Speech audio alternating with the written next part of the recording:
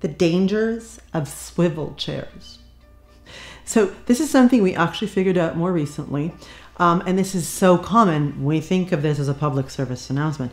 Most people, the chairs you're going to have in your office where you spend a lot of time are chairs that rotate side to side. I want you to see what happens. We're going to mimic this with this rotating disc. Okay. We all have these discrepancies in our spine and our pelvis these kind of built-in kind of compensation patterns based on you know me playing golf one-sided for years or doing something like that or in my case a scoliosis right?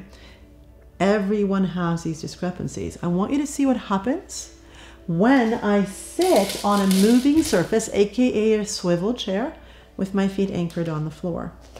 So the minute i sit what you're going to look for is watch what happens to my knees and pelvis.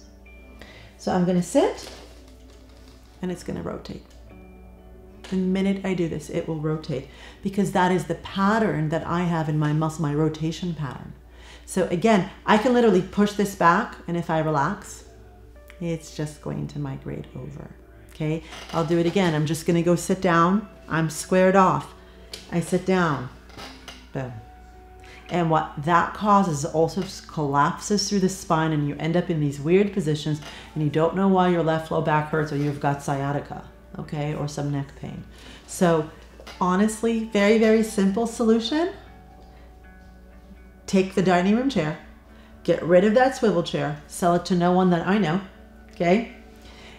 And just sit on a regular, just padded chair, right? You do like a little bit of padding and everything's going to get better.